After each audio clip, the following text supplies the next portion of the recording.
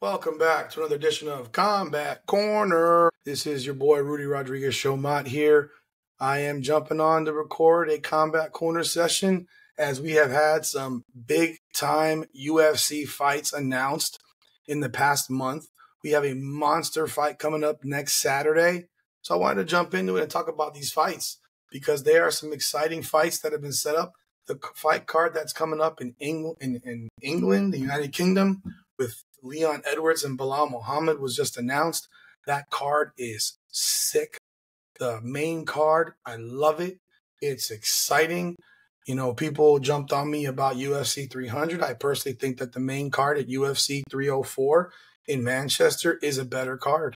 The main card is amazing, absolutely amazing. So kudos to the UFC for putting that together because that is a big time card in my opinion. But let's jump into the first topic at hand. Jon Jones was just announced in the past week or so to be fighting Stipe Miocic in November at Madison Square Garden, which seems to be the place that the UFC goes now every year in November. They are making it an annual event where they go to MSG in New York City. And I have a few comments on that fight. I don't give a fuck. I don't care. This fight is so long overdue that it just doesn't matter anymore. Stipe Miocic will be 42 years old and not having fought a fight in like four years. Jon Jones will have been a champion holding a belt for almost two a year and a half since he won the belt over Ciryl Gane. I just don't have the interest. It doesn't have the buzz or the excitement that I would have want what what I think any fight fan would have hoped for. Because I'm on lots of MMA boards, and I can tell you not a lot of people care about this fight that I see from what I'm reading. It doesn't have that that that pop because most people want to see Jon Jones fight Tom Aspinall, who is the interim champion. It's the fight that makes sense. It's the fight that people find as the most dangerous fight for Jon Jones. I don't find Stipe Miocic to be that dangerous a fighter at this point. He's 42 years old when they fight, not having fought in four years. Like, who gives a shit? If Jon Jones wins that fight, who cares? Does it prove anything? I mean, seriously, does it prove anything? I don't think it proves a thing. Because Jon Jones is Jon Jones and he's a great, great fighter and arguably the greatest fighter ever. But the way his career is gone, he doesn't want to fight the fighter that everyone thinks is the biggest badass in the heavyweight division. And that's Tom Aspinall. Tom Aspinall is a monster. He hits hard, he's fast, he's strong. But if you think you're that dude, why won't you fight him? And don't give me this crap that Jon Jones is posting because he's been posting lots of nonsense. You know, comments about how recently it was a comment about Tom Brady and Tom Brady go win me two more Super Bowls. What? Because Jon Jones has the most title defenses, and I guess he's got nine title defenses, and Brady's got seven Super Bowls. Is he really comparing the Super Bowl to, to title defenses? because winning a Super Bowl in football is a lot harder than winning a championship in the UFC. It is because it's a team sport. You're relying on too many other factors beyond yourself. To win a fight, you rely on yourself. So you control the outcome. You control who wins and who loses. Tom Brady doesn't control who wins and who loses. Tom Brady can only do his part on a football team because if his defense gives up 45 points and he scores 42, he loses, even though he may have played great. I just don't have any interest in this fight. It, it doesn't excite me. I hope the rest of the card, it just doesn't jump off the page like it did a couple years ago. We wanted to see that fight three to six months after he fought Ciryl Gane. We didn't want to see the fight a year and a half later. It's just the way it is. There's too much, there are too many moving parts in the UFC that keep you excited about a fight. Now, we do have the announcement also of Michael Chandler and Conor McGregor at UFC 303 in Vegas. I have the same feelings about that fight that I have of Jon Jones and Stipe. It's whatever. Do I want to see? I do have more interest in that fight. Yes, I do have more interest in that fight because these guys aren't over the hill. However, Conor McGregor, they're fighting at 170. If Conor was to get a win, what comes next? He claims that he's going to fight again in August, September. He claims he's going to fight again in December. And he claims it'll be for a title. I don't know. I think Michael Chandler's going to beat him. So it doesn't really matter. I, I think Chandler was going to beat him and I think he'll knock him out. Although I think Chandler would be smart to wrestle because McGregor still can't really wrestle. He never has been able to wrestle at a, at a high level. I think the best chance that McGregor has is if, is if Chandler tries to engage in a firefight, which would probably be a mistake on Chandler's part to do that. I think he should wrestle, look for takedowns, and try to ground and pound him. That's my opinion. Um, the fight itself is a main event, yet the card as a whole Jamal Hill, Carlos Ulberg as a co-main event, as Khalil Rountree is now out because he tested positive for some PEDs that he claims he didn't know anything about. Whatever, who cares? Um, Jamal Hill better win that fight because caller Carlos Ulberg just came off of a quick win over Alonzo Menifield. Um, I think it was 15 seconds or so. Ulberg's a great fighter, but he's ranked 11th, and Hill's ranked third. And if Hill loses this fight, this is bad for his career. Really bad, in fact. You have Mayra Bueno Silva on that fight against Macy Chiasson, Joe Pyfer, Mark Andre Barriault.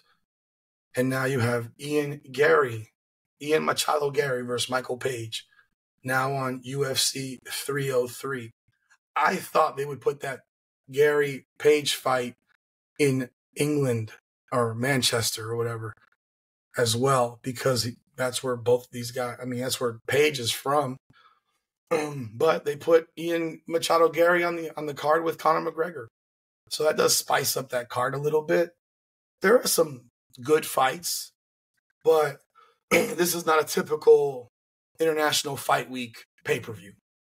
It's lacking a championship. It's lacking. It's lacking a lot it's lacking a lot. I, I, I don't. Yeah, I'm I'm just not impressed by this card. For now, it already broke all gate records because McGregor's on it, and the UFC has probably increased the price of tickets through the roof. They're making the UFC almost un- impossible to watch in person for a regular middle class person because these tickets are becoming so overpriced. It's crazy. That said, It'll probably do 1.5 to 2 million pay per view buys because of Conor, as he does have that power. He has that drawing powder power, and he will always have that power because he has cult like a cult like following. Beyond that, you have the fight with Robert Whittaker and Khamzat Chimaev. That is a fight night card in Riyadh, Saudi Arabia. This is the first time the UFC is going to Saudi Arabia. This is exciting. This is exciting because Robert Whittaker, eh, you know, is a former champion and he's beaten everyone else except for the champion and the former champion in Dricus du Plessis and Israel Adesanya. But Robert Whittaker is still a bad dude. He's coming off of a big win over Paulo Costa. And now he is fighting against Chimaev, and he is a betting underdog plus 170. I would tell you right now, this is a five round fight. Chimaev has never had a five round fight. His toughest fight to date was the fight versus Gilbert Burns. That was a three round fight that I thought Burns won. However, if it had gone five, I have no doubt Burns would have won because Chimaev is gassed in that fight. He was totally gassed. Now I gotta tell you, this is a this is a this is a humongous fight for the UFC. It's a humongous fight for the division because obviously if Chimaev wins, he is going to get a title shot in his next fight. It doesn't matter who it is, whether it's Dricus du Plessis, who's going to face Adesanya later this year, or Izzy. I would think the UFC would want Izzy to win that fight. I think it's clear that they do. He has great drawing power. But regardless of who it is, Du Plessis is probably a stylistically worse matchup for Chimaev than Adesanya. However, this fight's exciting. I'm stoked about this fight. I'm excited to see it. It's on June 22nd. It's a 3 p.m. main card start on ABC. This is a fight. And now, what happens if Whittaker wins? If he wins and Adesanya wins, is he going to get an, a, a third fight with Adesanya? Or if Strickland beats Costa uh, in a couple of weeks, next weekend, is Strickland going to get a fight versus Adesanya? Or if du- Duplessis wins, does Whittaker get a rematch with du- Duplessis, who beat him? Or does Strickland get that fight? I think Strickland's going to beat Costa. so I think there's going to be a lot of things that are going to come up here. I love the fight. I love the fight. The card, you have Sergey Pavlovich and Alexander Volkov, some heavy hitters at heavyweight. Love that fight. Pavlovich wins, he's right back in the conversation for a title shot. If Volkov wins, he's in the conversation for a title shot. Johnny Walker and Volkan Oezdemir, that's a fight. That's a fun fight. This number seven versus number nine. Walker's coming off of a loss. This could put either one of them in prime position to be a couple fights away from something really meaningful. Kelvin Gastelum versus Daniel Rodriguez, two similar bodied fighters, pudgy in the in the middle, but guys that like to throw hands. Exciting fight. You know, uh, um, it's it's it's going to be a nice card, but I am really really excited about that fight with Whittaker and Chimaev. So make sure you check that one out. And now we go into next week, UFC 302. This is an awesome card to me. I, I love it. I love this card. I, I mean, it's how do I put it this way? Dustin Poirier did exactly what he had to do to put himself in the position to get a title shot. When he knocked out Benoit Saint Denis. But there's no way in the world that he can fight that way and beat Islam Makhachev. And I'm a massive Dustin Poirier fan. I'm a huge Dustin Poirier fan. And, but if he fights trying to jump guillotines, the way he did versus Benoit Saint Denis, he will lose, and he will lose badly. He will lose badly. That would be a catastrophic error. I don't think he's dumb enough to do that because when Makhachev is on top, it's very hard to get him off. I know Volkanovski did in their first fight, but Poirier doesn't have that same type of wrestling ability that Volkanovski has. Poirier has got to keep this fight standing. He has got to keep this fight standing. I don't think Makhachev is the wrestler that Khabib Nurmagomedov was. I don't think he's the fighter that Khabib was. So I think Dustin can win the fight. I think he has a legitimate chance to win this fight. But it is 1000% on keeping this fight standing. He's a massive underdog, plus 360. Makhachev is minus 470. I'll put my money on Dustin because it's a value bet. But if he keeps this fight standing, I don't think Makhachev can beat him because I think Tori is a better striker, much better striker. That said, the threat of the takedown always exists. So does it make him more hesitant to let his hands go? I don't think he can throw a lot of kicks. I think the kicks that he can throw are lower calf kicks, like he threw on McGregor. I don't think any kick he throws should go above the knee. Every kick he throws should be at the calf. Because I think if he throws one high, it can get caught and he gets put on his back. I give Makhachev credit for giving him this title shot because the reality is he could have picked a bunch of guys. There was other people that he could have picked. You know, um, Arman Tsarukyan. Arman Tsarukyan could have gotten, or Arman just beat Oliveira.